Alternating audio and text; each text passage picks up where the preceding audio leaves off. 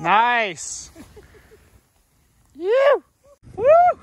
Well, hey guys, Norona out here. We're just uh, March 14th.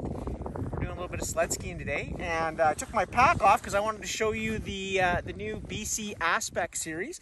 So first of all, I'm going to show you the new Aspect short glove. So the short is the short glove that we also make a long glove.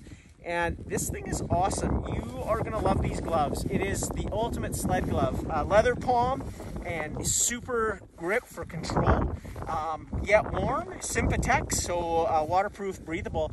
And uh, I think the most important thing about gloves is that you get a good feel to your handlebar. You know, you go too thick and you lose the feel. You go too thin, you get cold. And this is exactly where I would want a glove to be. I would call it a mid-weight glove. Um, and uh, it's got a little goggle wipe here, so super cool.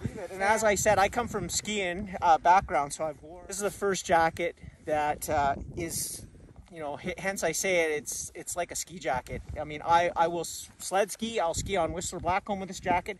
It's so light and comfortable, but yet it's got the Sympatex waterproof, breathable, and the toughness for sledding. So uh, it's got a uh, one pocket up here, uh, venting under the arms here, so super easy to do with a gloved hand if you need me.